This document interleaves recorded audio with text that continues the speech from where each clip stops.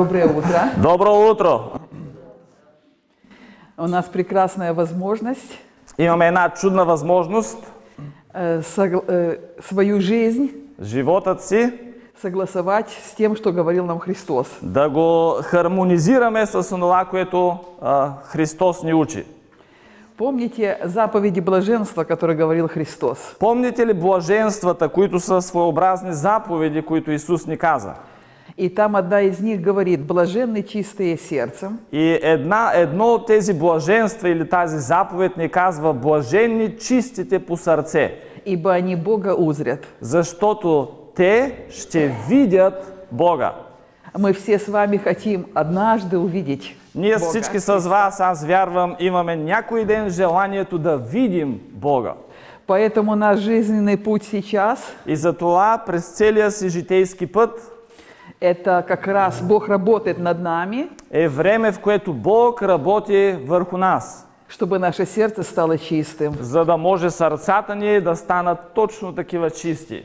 Помните, как э, Давид говорил, Помните ли онова, което Давид беше казал? больше всего хранимого храни сердце твое. Повече от всичко друго, що пазиш, съхрани своето сърце, ибо из него источники жизни. защото от него са изворите на живота. Мне хочется продолжить то, о чем мы говорили с вами вчера, Иска ми се да продължа малко онези мисли, с които започнахме вчера. когда мы сказали о том, что самое главное в нашей жизни Когато говорихме за това, че главното в живота ни не наше внешнее, что мы делаем или не говорим, са нашите външни неща, прояви, онова, което правим или говорим, но в каком состоянии сердца мы это делаем но в какво състояние на, на сърцето, на, на духът са нещата, които правим. То есть это важно, что мы делаем и говорим, Разбира се, важно е онова, което е като проявление, какво правим. но гораздо сильнее, в каком состоянии мы это Но делаем. много по-силно е онова, в какво състояние на духа се намираме, когато го правим. И вот наша человеческая проблема И нашият човешки, за жалост, проблем заключается в том, е в това, что часто мы лицемерим. че много често проявяваме лицемерие. То есть мы говорим вроде бы правильные вещи, Общо взето изглежда, че говорим правилните неща и вроде бы делаем даже добрые дела, и даже получава се да вършим добри дела. и не, но и не видим результата, который мы хотим в итоге. Но за жалост не виждаме резултатът, който в крайна сметка искаме да видим. И я думаю, что у вас тоже есть такая фраза. И вярвам, че и при вас сигурно има такава фраза. Не делай людям добра, они все равно это не оценят. А, няма смисъл да им правиш добро, в- защото и без това няма да го оценят. Вы такое слышали, когда, Чували ли сте не, такива подобни думи? что делай, делай, а люди все равно Прави си каквото се знаеш, защото хората те или иначе не го оценяват. Это происходит тогда, Това се случва тогава, когда мы делаем это добро из совершенно других побуждений. когато вършим определеното даже добро със съвсем други подбуди. То есть Мотиви. мы свое взгляды навязываем другому други человеку. думи, своите възгледи или разбирания ги а, натрапваме на, на другия или другите. Э, Это по принципу «я знаю, что для тебя добро». А, Това е на принципа аз знам кое за тебе е добро. А люди это воспринимают совершенно А по-другому. хората го разбират това съвсем по друг начин. Мы с вами еще можем э, позже э, сегодня подумаем, как это происходит, разные жизненные примеры. Ние ще разгледаме с различни жизнени примери по-късно днес и това.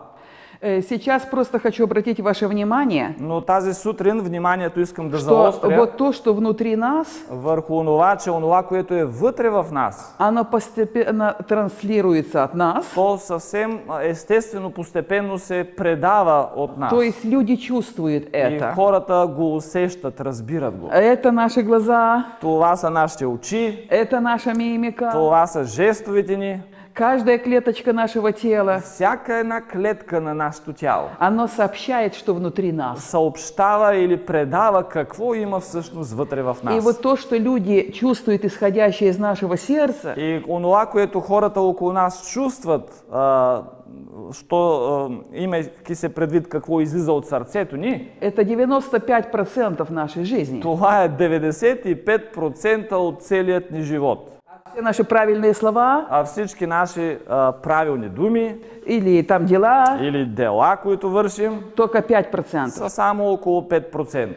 Поэтому если наши 5% говорят одно, Затова, ако нашите 5% говорят едно, а сердце говорит другое, а сърцето говори съвсем друго, то люди чувствуют сердце, а не наши хората 5%. чувстват сърцето, а не онова, което правим или говорим. И часто происходит так. И много често се случва така. Вот я пример возьму. Это может быть в семье, может быть на работе. Давам ви пример, може и да е в семейството, може да е в службата, на работата. На- Например, на работе. Мы говорим своему начальнику. Говорим на своят началник.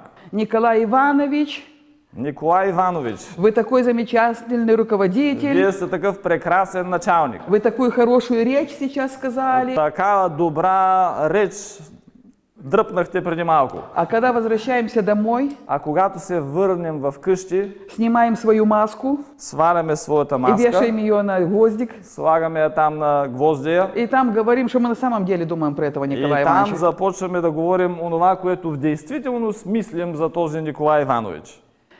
И потом мы удивляемся, А после се очудваме. почему этот Николай Иванович нас недолюбливает, Защо той наш Николай Иванович, началник, не ни обича като ли чак толкова? не продвигает нас по службе, Не ни развива в, а, в службата. Потому что он чувствует Защото той чувства. не эти слова, что мы ему сказали, правильные, абсолютно Не правильные, думите, които му говорим, те може и много правилни да са били. а то, что говорит наше сердце. А онова, което говори сърцето ни. И если там большая разница, И ако е огромна разликата, то э, забудьте думать о продвижении на службе. забравете да мислите за развитие в службата. Э, Это просто вот так работает, нам нужно это понимать. Така работи всичко това и е важно да го осъзнаваме.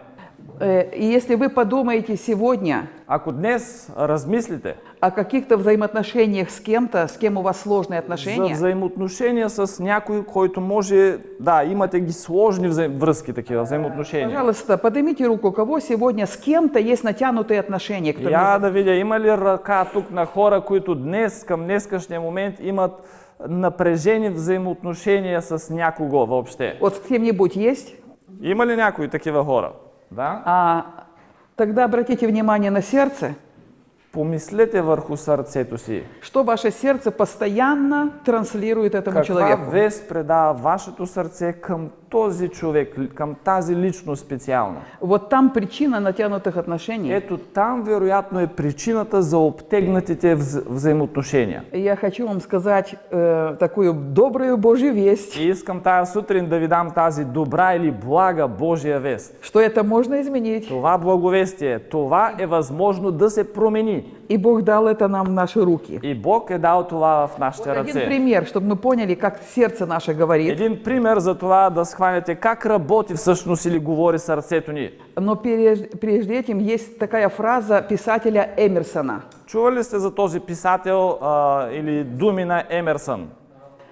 Твое сердце кричит так громко, что я не слышу твоих слов. Твоето сърце крещи толкова високо, че не мога да чуя твоите думи. Э, Много лет назад я в Одессе проводила семинар Много години назад провеждах семинар в Одеса. Э, в церкви, там было много людей, больше ста человек. Огромна църква, повече от 100 души. И мы говорили, как важно, чтобы в нашем сердце была истинная любовь. И говорихме за това колко съществено е в сърцето ни да имаме действително любов. Вот эта теплота, такая Тази мягкость, топлина, мекота в э, отношенията. доброжелательность. Или доброжелателност, ако я наречем. Как это влияет на наши отношения. И как това влияе на нашите взаимоотношения. И одна женщина, очень искренняя христианка, И една жена, много искрена християнка, она говорит, я все время так стараюсь жить. аз по, постоянно се старая точно по този начин да живея. Но у нее есть единственный сын, уже женатый. Но тя има един а, син само, който вече е семейен. И вот там проблема с, у свекрови с невесткой. И там проблема има между снаха и свекърва. Свекровь не видит ничего доброго в том, что делает невестка. А, свекървата, тази наша жена, сестра, не вижда нищо хубаво в онова, което прави снахата. И каждый раз, когда она приходит и указывает невестке, как нужно жить, И постоянно и, и казва как трябва да живее, как трябва да постъпва. винаги, когато има възможност. Не слушай то доброе, что хочет ей свекровь. И- А пък другата, снахата, никога не иска да чува тези добри неща, които и желая съвсем добронамерено свекървата. И вот она говорит, я все время стараюсь жить в любви, И е това тя казва, «Ама аз през цялото време се стремя да живея в любов. но когда она к сыну приходит, все это состояние исчезает. Но когато идва сина ми с снахата, това мое състояние изчезва. И вот она говорит, ну вот послушайте, э, вот пример И тя ми дава този пример, казва, чуйте ме сега. Говорит, я должна была пойти к ним в гости, там А, Аз трябваше веднъж да ида при тях в гости, на гости. какое-то там или день рождения было, какое-то что-то. На, на, на рожден ден или някакъв празник имали семейен. Она говорит, я знаю, что я пойду, там будет только скандал, И, и тя казва, аз знам, че и като отида там, само едни скандали ще има. потому что она приходит, ничего доброго не видит. Защото тя като отиде в техния дом, нищо хубаво не вижда там. Когда она указывает на то, что видит, сноха сопротивляется и возникает скандал. Когато даже казва нещо добро, снахата се съпротивлява и разбира се, скандала е готов. И она решила, я буду молчать. И тя решила този път, аз ще си мълча. Я ничего не буду говорить. Нищо няма да говоря. Вот так рот зашила на замок. Е така се едно си е зашила а, устата с игла. И она говорит, я просидела, я следила за собой, я все время молчала. И тя казва, аз се напрегнах, а, така бях много внимателна към себе си и през цялото време на това събитие мълчах.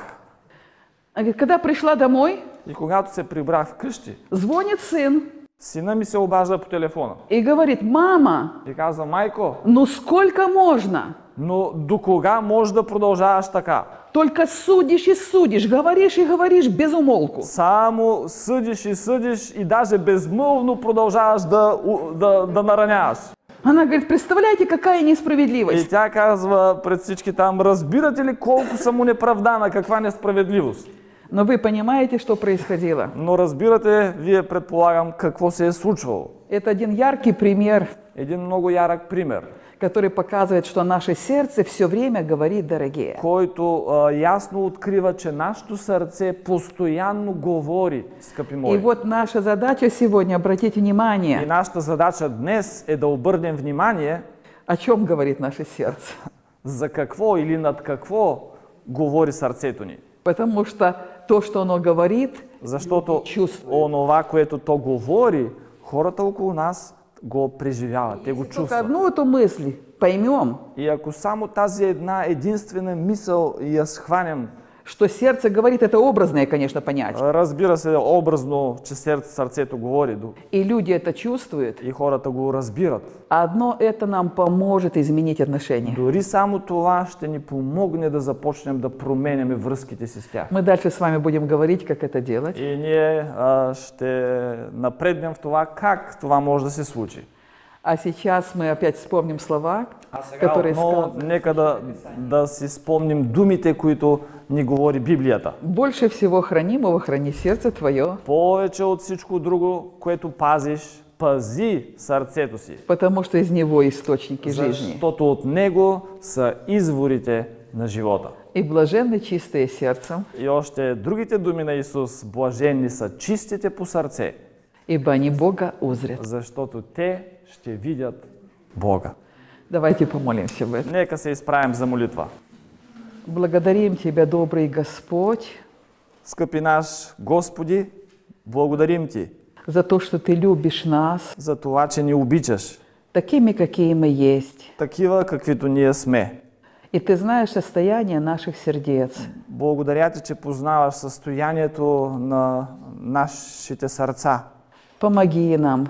Боже, помогни. Это наша просьба к Тебе. Твоя наша молитва к Тебе, Чтобы наши сердца были чистыми. Да имаме чисти сердца. И мы однажды могли увидеть Тебя. За да може в онзи добър ден да Тебя видим. Аминь. Аминь.